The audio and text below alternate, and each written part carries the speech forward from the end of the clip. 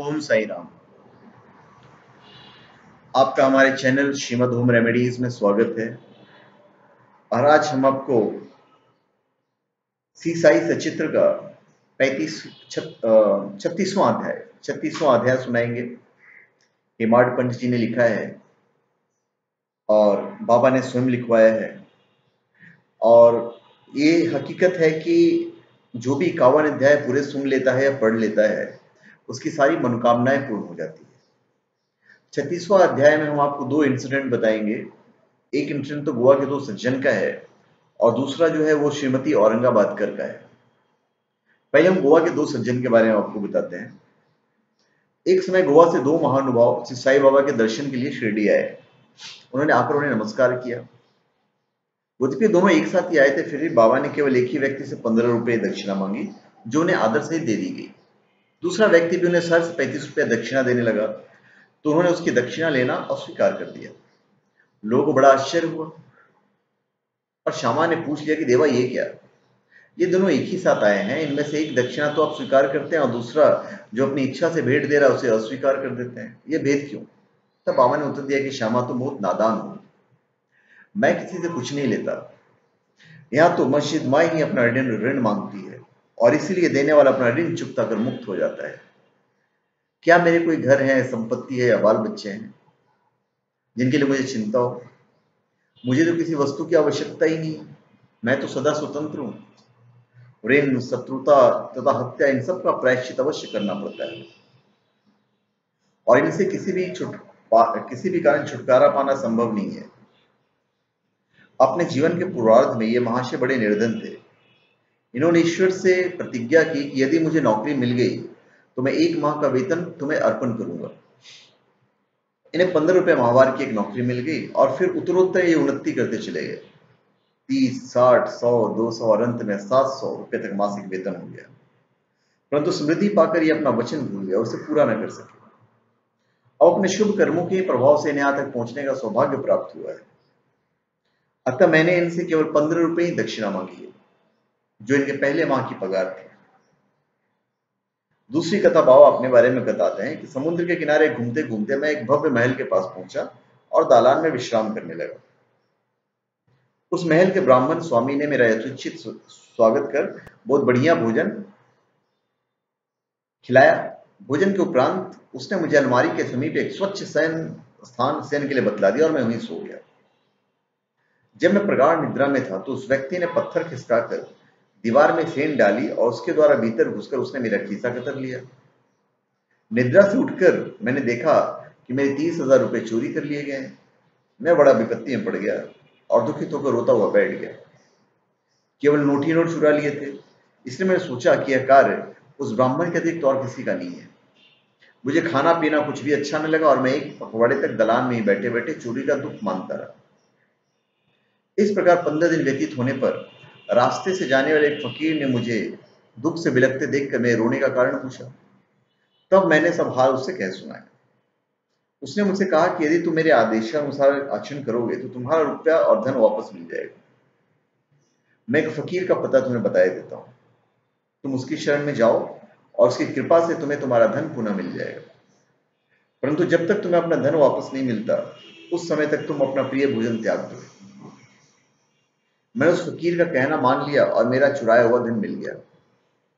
तब मैं समुद्र तट पर आया, जहाँ एक जहाज़ खड़ा था, जो यात्रियों से ठसाठस भर चुका था। भाग्यवश वहाँ एक उदार प्रकृति वाला चपरासी की सहायता से मुझे एक स्थान मिला। इस प्रकार मैं दूसरे किनारे पर पहुँचा और वहाँ से मैं रेलगाड़ी में बैठकर मस्जिद माइया पहुँचा। कथा समाप्त हुई, बाबा ने सब स्थितियों को अपने साथ ले जाने और भोजन का प्रबंध करने को कहा। तब श्यामा उन्हें अपने घर लिवा ले गए और उन्हें भोजन कराया। भोजन करते में श्यामा ने उनसे कहा कि बाबा की कहानी बड़ी ही रहस्यपूर्ण है, क्योंकि ना तो ये कभी समुद्र की ओर गए हैं और ना उनके पास तीस हज़ार रुपये ही थे। उन्हें ना कहीं भी यात्रा की है, ना उनकी कोई रकम ही चुराई गई और ना वापस आई है।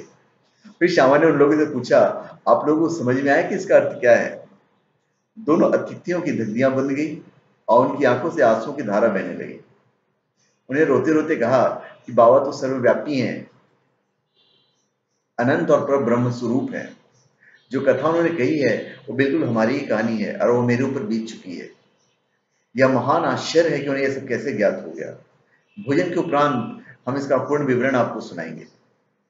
भोजन के पश्चात पान खाते उन्होंने अपनी कथा सुनाना प्रारंभ किया उनमें से कहने लगा घाट में एक पहाड़ी स्थान पर हमारा निवास स्थान है। मैं अपने जीवन निर्वाह के लिए नौकरी ढूँढने गोवा गया था। तब मैंने भगवान दत्तात्रेय को वचन दिया था कि यदि मुझे नौकरी मिल गई तो मैं तुम्हें एक माह की पगार भेंट चढ़ाऊँगा। उनकी कृपा से मुझे पंद्रह रुपए की नौकरी मिल गई। और जैसा कि बाबा ने कहा, उसी प्रकार मेरी उन्नति हुई। मैं अपना वचन बिल्कुल भूल गया था। बाबा ने उसकी स्मृति दिलाई और मुझसे पंद्रह रुपये वसूल कर लिए। आप लोग उसे दक्षिणा न समझे। यह तो एक पुराने ऋण का भुगतान है। दीर्घ काल से भूली प्रतिज्ञा आज पूरी हुई। यथार्थ में बाबा ने कभी किसी से पैसा नहीं मांगा और ना ही अपने भक्तों को ही मांगने दिया। वे आध्यात्मिक उन्नति में कंचन को बाधक समझते थे और भक्तों को उसके पास से सदैव बचाते रहते थे। भक्त महालसापति इसके उदाहरण स्वरूप है। वे बहुत निर्धन थे और बड़ी कठिनाई से अपना जीवन व्यतीत करते थे। बाबाओं ने कभी पैसा मांगने नहीं देते थे। और ना ही वो अपने पास की दक्षिणा में से उन्हें कुछ देते। थे एक बार एक दयालु सहृदय व्यापारी हंसराज ने बापा की उपस्थिति में ही एक बड़ी रकम महारसा पति को दी, परंतु बाबा ने उनसे अस्वीकार करने को कह दिया। अब दूसरा अतिथि अपनी कहानी सुनाने लगा। उसने कहा कि मेरे पास एक ब्राह्मण रसोईया था, जो गत पैंतीस वर्षों से ईमानदारी से मेरे पास काम करता था। बुरी लतों में पड़कर उसका मन पलट गया और उसने मेरे सब रुपए चोरी कर लिए। मेरी अलमारी दीवार में लगी थी। और जिस समय हम लोग गहरी नींद में थे, उसने पीछे से पत्थर हटाकर मेरे तीस हज़ार रुपए के नोट चुरा लिए। मैं नहीं जानता कि बाबा को यह ठीक ठीक धनराशि कैसे ज्ञात हो गई। मैं दिन रात रोता हुआ और दुखी रहता था। एक दिन जब मैं इसी प्रकार निराश और उदास होकर बरामदे में बैठा था, उसी समय रास्ते से जाने वाला एक फकीर ने मेरी स्थिति जानकर मुझसे इसका कारण पूछा। मैंने उसे सब हाल कह सुनाया। तब उसने कहा कि कोपरगांव तालिके के शिरडी ग्राम में श्री साई बाबा नाम के कौलिया रहते हैं। उन्हें वचन दो तथा अपना रुचिकर भोज्य पदार्थ त्याग दो और मन में कहो कि जब तक मैं तुम्हारा दर्शन न कर लूँगा, उस पदार्थ को कदापि न खाऊँगा। तब मैंने चावल खाना छोड़ दिया और बाबा को वचन दिया कि, बाबा, जब तक मुझे तुम्हारे दर्शन नहीं होते और मेरी चुराई धनराशि नहीं मिल जाती, तब तक मैं चावल ग्रहण नहीं करूँगा। इस प्रकार जब पंद्रह दिन बीत गए तो वो ब्राह्मण स्वयं ही आया और सब धनराशि लौटाकर क्षमा याचना पूर्वक कहने लगा कि मेरा मति ही भ्रष्ट हो गया था, जो मुझसे ऐसा अपराध हुआ। मैं आपके पैर पड़ता हूँ, मुझे क्षमा कर दो। इस प्रकार सब ठीक ठाक हो गया। जिस फकीर से मेरी भेंट हुई थी तथा जिसने मुझे सहायता पहुंचाई थी, वो फकीर मेरे देखने में कभी नहीं आया। मेरे मन में श्री साई बाबा के दर्शन की जो कांटा थी, वो होने लगी। जिनके लिए फकीर ने मुझसे कहा था। मैंने सोचा कि जो फकीर मेरे घर पर आया है वो साई बाबा के अतिरिक्त और कोई नहीं हो सकता है। जिन्होंने मुझे कृपा कर दर्शन दिया और मेरी इस प्रकार सहायता की, उन्हें पैंतीस रुपए का लालच कैसे हो सकता है? इसके विपरीत, वे अहेतु कृपा करके आध्यात्मिक उन्नति का पथ ले जाते हैं। जब चोरी गई राशि मुझे पुनः प्राप्त हो गई तब मेरे हर्ष का पारावार न रहा। मेरी बुद्धि भ्रमित हो गई और मैं अपना वचन भूल गया। गुलावा में एक रात्रि को मैंने साई बाबा को स्वप्न में देखा। तभी मुझे अपनी शिरडी यात्रा के वचन की स्मृति हो आई। मैं गोवा पहुँचता और वहाँ से एक स्टीमर द्वारा बॉम्बे पहुंचकर शिरडी जाना चाहता था। परंतु जब मैं किनारे पहुँचा तो देखा कि स्टीमर कचाकच भर चुका है, उसमें बैठने की बिल्कुल भी जगह नहीं है। कैप्टन मुझे चढ़ने न दिया, परंतु एक अपरिचित चपरासी के कहने पर मुझे स्टीमर में बैठने की अनुमति मिल गई और मैं इस प्रकार मुंबई पहुँचा। फिर रेलगाड़ी में बैठकर यहाँ पहुँच गया। बाबा के सर्वव्यापी और सर्वज्ञ होने का में मुझे कोई शंका नहीं है।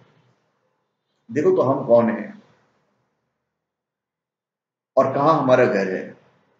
हमारा भाग्य कितना अच्छा है कि बाबा हमारी चुराई गई राशि वापस दिलाकर हम यहाँ खींच कर लाए हैं। आप शिरडीवासी हम लोग की अपेक्षा सहस्त्र गुना श्रेष्ठ और भाग्यशाली हैं।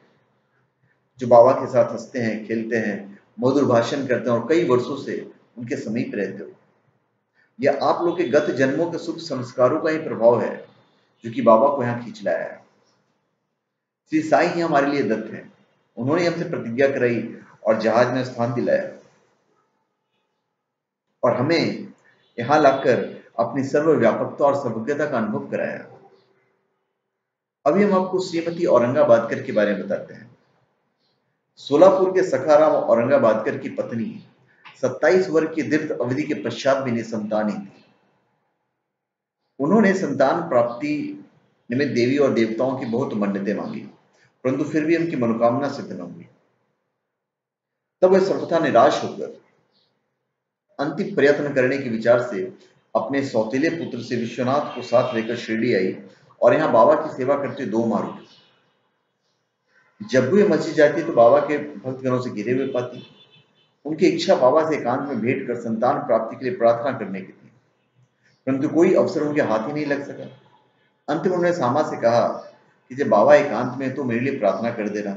श्यामा ने कहा कि बाबा का तो खुला दरबार है। फिर भी यदि तुम्हारी ऐसी इच्छा है तो मैं अवश्य प्रयत्न करूँगा। परंतु यश देना तो ईश्वर के हाथ में है। भोजन के समय तुम आँगन में नारियल और अगरबत्ती लेकर बैठना और जब मैं संकेत करूँ तो खड़ी हो जाना। एक दिन भोजन के उपरांत जब श्यामा बाबा के गीले हाथ तौलिए से पोच रहे थे, तभी बाबा ने उनके गाल पर चिकोटी काट ली। तब श्यामा क्रोधित होकर कहने, क्या देवा, यह क्या? आपके लिए उचित है कि आप इस प्रकार मेरे गाल पर चिकोटी काटें। मुझे ऐसे शरारती देव की बिल्कुल आवश्यकता नहीं है, जिस प्रकार का आचरण करे। हम आप पर आश्रित हैं तब क्या यही हमारी घनिष्ठता का फल है? तो बाबा ने कहा, अरे, तुम तो बहत्तर जन्मों से मेरे साथ हो। मैंने अब तक तुम्हारा साथ ऐसा कभी नहीं किया है। फिर अब तुम मेरे स्पर्श को क्यों बुरा मानते हो? श्यामा बोले कि, मुझे तो ऐसा देव चाहिए, जो मैं सदा प्यार करे और नित्य नया नया मिष्टान खाने को दे। मैं तुमसे किसी प्रकार की इच्छा नहीं रखता और ना मुझे स्वर्ग याद ही चाहिए। मेरा तो विश्वास सदैव तुम्हारे चरणों में ही जागृत रहे। यही मेरी अभिलाषा है। तब बाबा बोले कि हाँ सचमुच मैं इसीलिए आया हूँ। मैं सदैव तुम्हारा पालन और उदर पोषण करता आया हूँ, इसलिए मुझे तुमसे अधिक स्नेह है। तब बाबा अपनी गादी से विराजमान हो गए। तभी श्यामा ने उस स्त्री को संकेत किया। उसने ऊपर का आकर बाबा को प्रणाम कर उन्हें नारियल और धूप बत्ती भेंट की। बाबा ने नारियल हिराकर देखा तो सूखा था और बचता था। बाबा ने श्यामा से कहा कि यह तो हिल रहा है, सुनो यह क्या कहता है।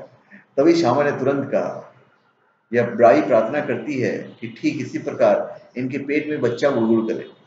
इसलिए आशीर्वाद सहित इन नारियल इन्हें लौटा दो। तब बाबा फिर बोले, क्या नारियल से भी संतान की उत्पत्ति होती है? लोग कैसे मूर्ख हैं जो इस प्रकार की बातें करते हैं? श्यामा ने कहा कि मैं आपके वचनों और आशीष की शक्ति से पूर्ण अवगत हूँ और आपके एक शब्द मात्र से इस बाई को बच्चा का तांता लग जाएगा। आप तो टाल रहे हैं और आशीर्वाद नहीं दे रहे हैं। इस प्रकार कुछ देर वार्तालाप चलता रहा। बाबा बार बार नारियल फोड़ने को कहते थे, परंतु क्षमा बार बार ये हट पकड़े हुए थे कि बाबा इसे उस बाई को दे दो। अंत में बाबा ने कहा कि देखो, इसको पुत्र की प्राप्ति होगी। तब बाबा ने सब श्यामा ने पूछा, कब तक? बाबा ने उत्तर दिया कि बारह मास में। अब नारियल को फोड़कर उसके दो टुकड़े किए गए।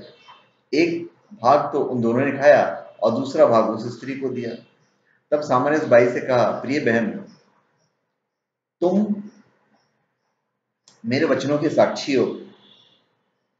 यदि बारह मास के भीतर तुमको संतान ना हुई तो मैं इस देव के सरपरी नारियल फोड़कर इसे मस्जिद से निकाल दूँगा।